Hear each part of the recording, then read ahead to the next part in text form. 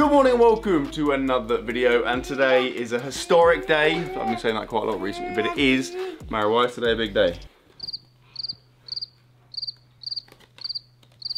Rude. Um, so I have not squatted or deadlifted for close to three months.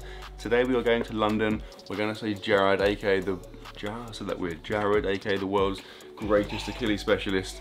Um, and I think, fingers crossed, fingers crossed. What are you singing? What are you singing? E-I-E-I-O. Mara, what noise does a dinosaur make? realistic. I think, so I do it there, I think we're going to be squatting and deadlifting, at least to some extent. So today we're going to establish how, how much how much we've lost. Basically, how much ground do you lose from going from squatting and deadlifting multiple times a week to not doing it at all for close to three months? We're going to find out. Ben is on the scene. We filmed a couple of bangers oh. yesterday. Still, those videos probably haven't come out yet. They will be coming out over the next week or two, so be ready for those. Ben, what are your thoughts on my glorious return to squatting and deadlifting? Yeah, I've had like a good window of opportunity to try and close the gap between us, and now Matt's about to like, absolutely blow it apart. Blown away. So, Mara's about to go swimming. We need to get some breakfast. Let's get this day started. I'm excited. If you're excited, drop the video a like. Here we go.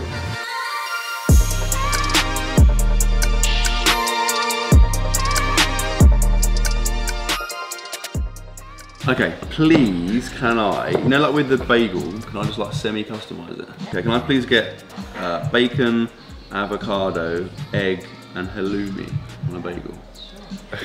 In addition to that, please can I get, um, can I get the pancakes, but like just maple syrup? But just like loads of maple syrup. literally. Don't literally do that. do ben, go through to one. Uh, could I just get like a bit of Victoria sponge, please? Thank you. I can also grab like an orange juice, please. Yes, please. Right. Thank you very much. Preparation for the main event. It's gonna go here. Right. Thank you very much. I have breakfast of the kings. Bagel, halloumi, bacon and egg. One absolute dream scenario. Won't lie, that's quite underwhelming, but still it'll be nice because it's pancakes and syrup. Because you took everything off it. Mine looks nice. I didn't take it off it, I just didn't ask I thought it was going to be a stack, but still, I'm, I'll, I'll take that. Ben's got a measly victorious one cake. But when you smeared all the jam. Yeah, spread it out, you know, make sure also, it's just to hammer this home, Ben, you're, you're trying to bulk right now, right? Yeah, well, this is still part of my breakfast, to be This will, well, this will put me up to probably like seven little bit of cake for his breakfast, maybe. Yeah. No, no, I've already had a breakfast. This, this, this is a great representation of me and Ben. This is me, that's Ben. I mean, distinguished. This is. There's videos coming soon. The one video we filmed yesterday. You'll understand. Where this Matt why. absolutely oh, let him don't, down. Don't spoil alert. Let him down. Absolutely blew Ben away. well, it depends. It depends on what video we're talking about, doesn't it? Oh yeah. Oh, I see. Oh. Well, still there wasn't. Okay. What did you get, you sexy babe? Show the. Show it, Bit of vomit in my mouth then. you said it. so Sarah's got the worst version of mine. Sarah's got the nice maple syrup pancakes and then just put loads of fruit and soggy yogurt on. But she's an absolute freak. You need to get the perfect breakfast. Ready for this? Okay, yeah. How to eat this bagel setup 101. Step one, cut a 30 degree segment out of your bagel. Step two, halloumi on top. I feel like you're losing Step your three, audience here. No, the audience is as engaged like as New duration is. this is where it's going to take the hit now. Step three, bacon on top. It's not working. It's falling apart, mate. Step four, remove the uh, bacon. Absolutely. Put the egg in the bacon. Are you going to be offended if I press? And, and, and, on top. And, and then step five throw your fork on the floor, step six, get rid of that crap. That's what you throw my face, that's immature. Step seven, sit back, relax, and enjoy. oh yeah. Alright. That was good, that was a solid 8.5 out of 10 breakfast. On a side, look at that car, sis. Look at that I car. can't, because I'm look at that car, look at that car. That is. That's Ben's car. Actually, I'll start this with a little bit of inside information. Ben has not learned to drive yet, have you, Ben? I don't need to drive. Ben can't drive. I can drive mine. Well, I, I put the environment Drive first. me crazy. I'm a man of Not the in a sexual way, I mean like an annoying way. Man, Um, constant sexual undertone to everything he says. Anyway, uh, we need to go back now, head to the gym because I need to pick up some bits for later on.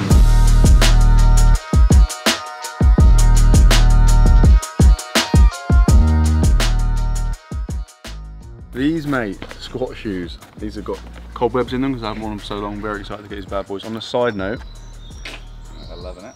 this is our pond, mate, and we've got some ducks in the pond. Shall I try and feed them? What can I feed them? I put the environment Drive first. me crazy. Pretty sure ducksy. Oh, what? No, I don't think they want it. that would Ben, push very him in. Is it It's worth it. It's worth it. know if you did that. Ducks in our pond, mate. It's pretty cool. Anyway, I have a train to catch. In fact, we have a train to catch. I'm going to go physio. Ben's going to go back to Norwich to. Yeah, yeah, yeah. Ben lives on the farm. I put the environment first. Yeah, it's true. Uh, okay, so yeah, let's make that happen.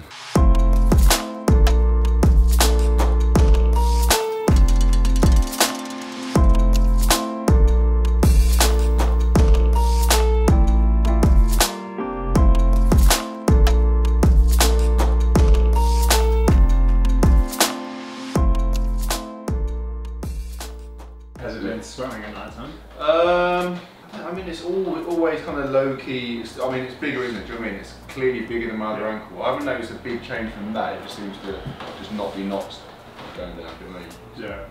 Um, uh, but yeah, it feel. I, I don't know if it's obviously the lack of range is impacting, but I think also part of it is the, obviously the ability to push off. I can't properly push off. So like I can now, yeah, I can. So I can do this, which is like absolutely fine. And al- although I lean this way, it's still like you know I, am using that that car, Yeah. but I don't feel like like for example there, I don't feel like I'm even close to being able to do that. Still a little bit. Smaller than the right one, right? I wouldn't use the word smaller. I'd probably use the word a bit flaccid, less less less dense. Yeah. So the tone is a little bit down. I can stick my thumbs back into it, but it's a little bit subjective. You Yeah. can feel this one's quite firm, Yeah. but that's right. Can I get you to have a wander over to the um, Mm-hmm. lay down for me? Any irritation down at the insertion down here? Uh, not, not, not, not the skin, like, it's just, like I said, I get that feeling I described for the calf raises. I've had that like once or twice walking, but Yeah. again, it's, it's very, very mild. Again, if it was another body part, I wouldn't even acknowledge it, it's just Yeah. because it's in my... Any soreness when I pull on the scar? No.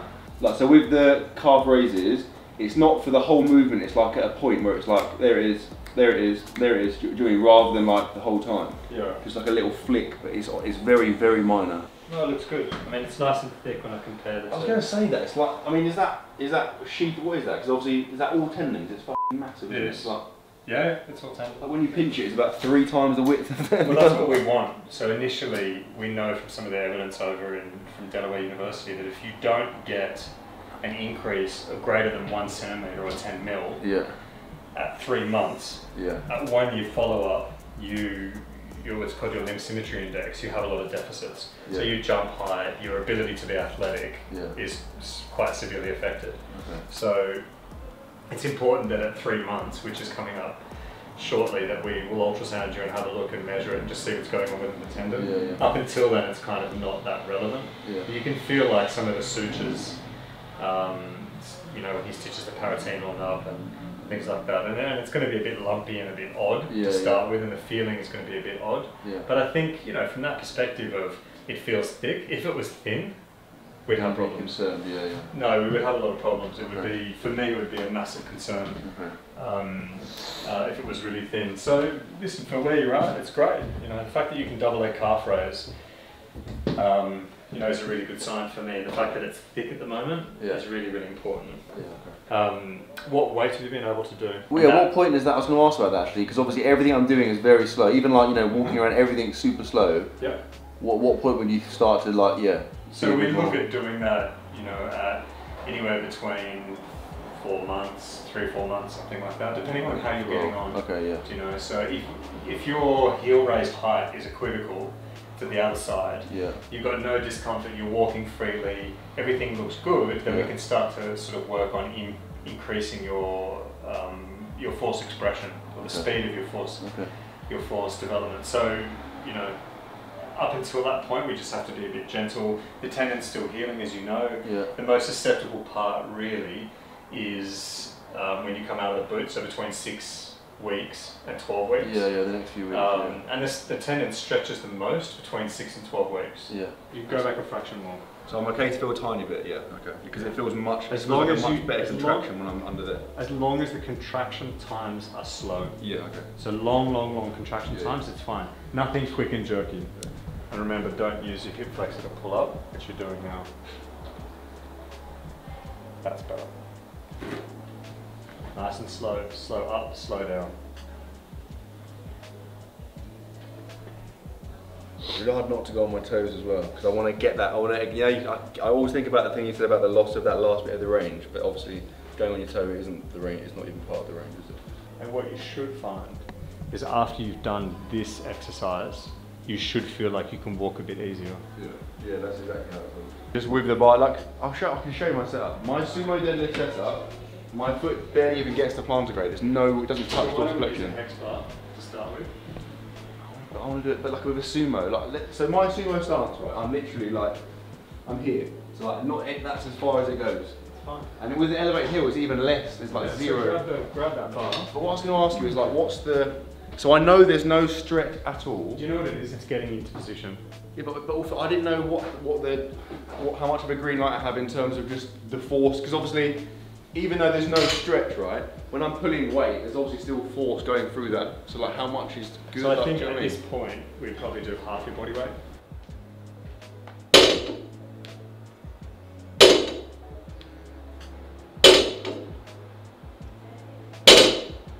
I feel like I'm, it's literally like I feel like I'm asleep like there's nothing I think I could So let's, let's progress you yeah, at home.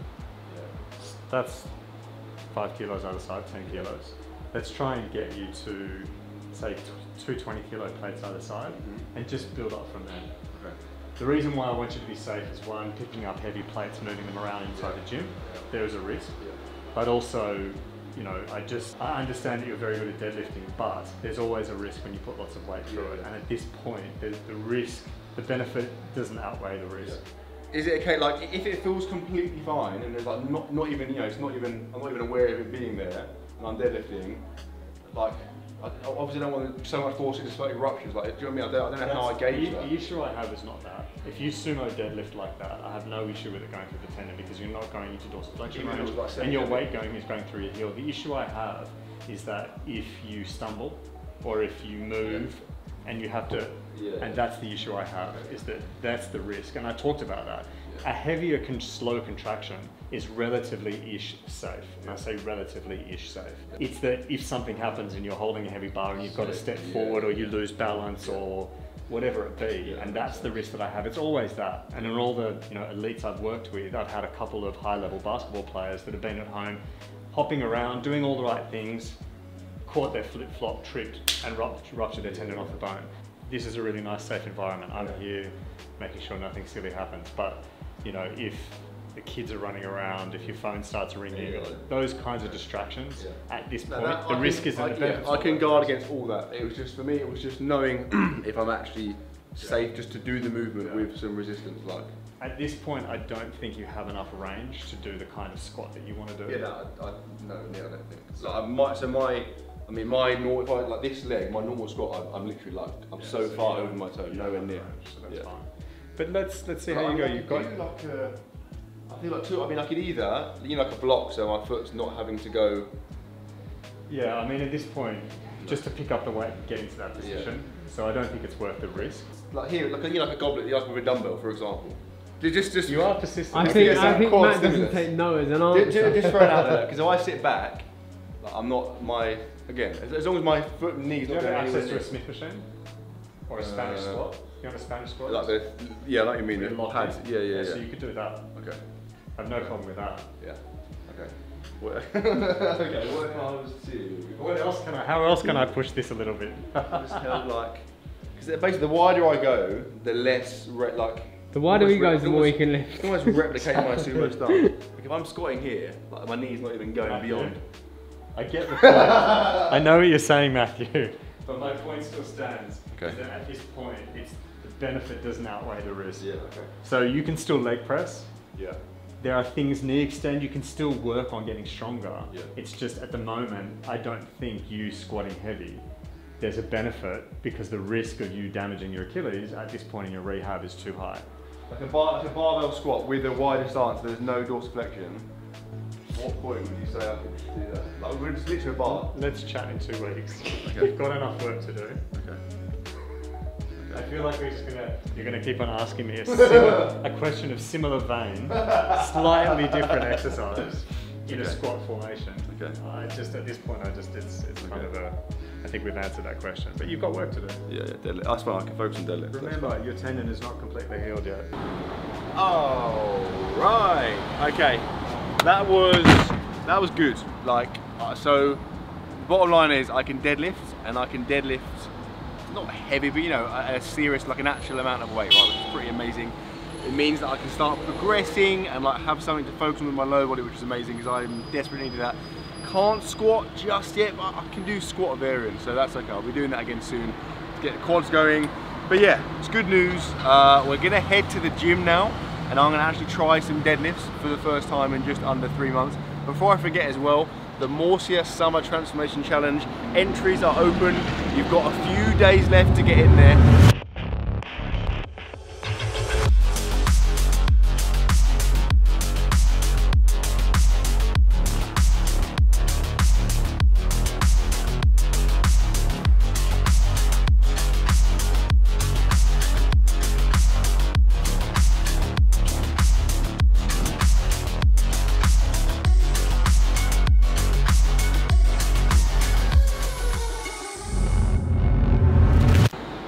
Bottom line is, if you are looking to change your life in a positive way for this summer, over the course of the next few months, whether that be getting lean, like losing some body fat, putting on some muscle, getting bigger, just getting healthier, getting in, you know, better shape, having a more healthy lifestyle, this is the place to do it. Top link in the description. Come and join the challenge. There's going to be thousands of people doing the same thing, being supportive, helping each other out, moving towards a collective goal. And the best thing is, we're going to be picking people at the end to give away £5,000 in cash and the chance to come and train with me in the Morsia gym. So like I said, top link in the description. Summer Transformation Challenge. Come and get involved.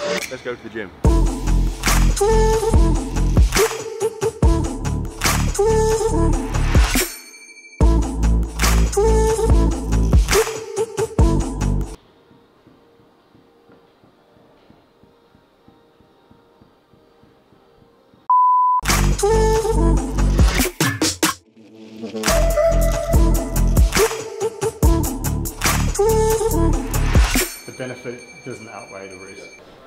How does it feel? I mean, it feels mad to be honest. Like, I don't want to jinx it and I want to be patient, but at the same time, literally cannot feel it at all. Nothing whatsoever. On a side note, I've like put the collars here, right? So obviously I use a deadlift bar. I have a very wide stance at home. This is a regular gym bar. So I want to get, the, the wider my stance is, the less my knee goes anywhere near dorsiflexion and the less pressure there is on my Achilles. But that feels amazing. I'm gonna, I'm gonna have to obviously keep it mega conservative, but I'm basically gonna build up, accumulate some volume. I can already feel the soreness is gonna be disgusting, but yeah, I'm excited. Let's do some deadlifts.